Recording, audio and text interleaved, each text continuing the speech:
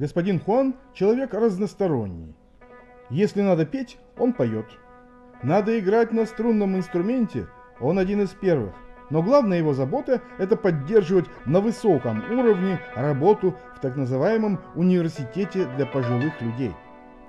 Каждый день несколько десятков пенсионеров приходят сюда, чтобы заниматься любимым делом.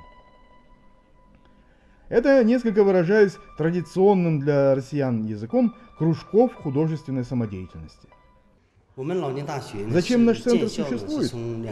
Мы хотим пенсионерам дать шанс прожить еще кусочек жизни совсем по-новому. Можно, конечно, выйдя на отдых, сидеть дома. Некоторые так и делают. Занимаются внуками, по хозяйству возятся. Но ведь куда интереснее научиться чему-то необычному.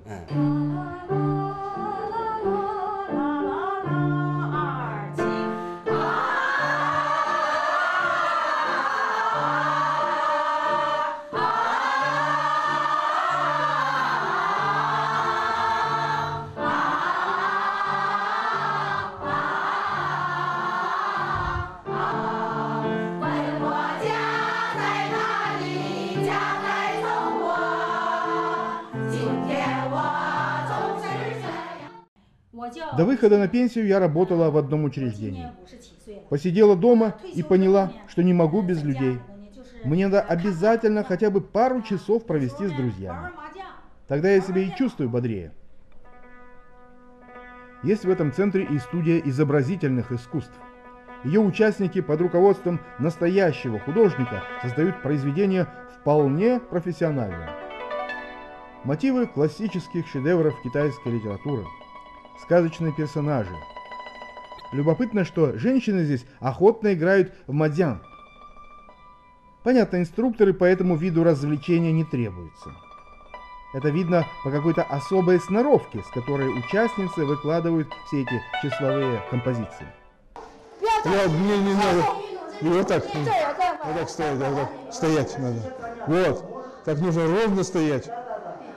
Вообще-то голубая мечта каждого, наверное, россиянина заниматься э, гимнастикой тайзи-сюань. И здесь э, в классе, который расположен в этой э, школе, видите, как меня обучают хорошо.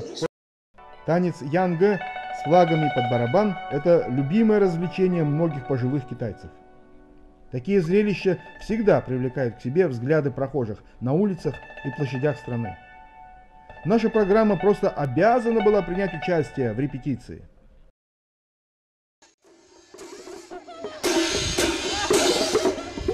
Получается, по-моему.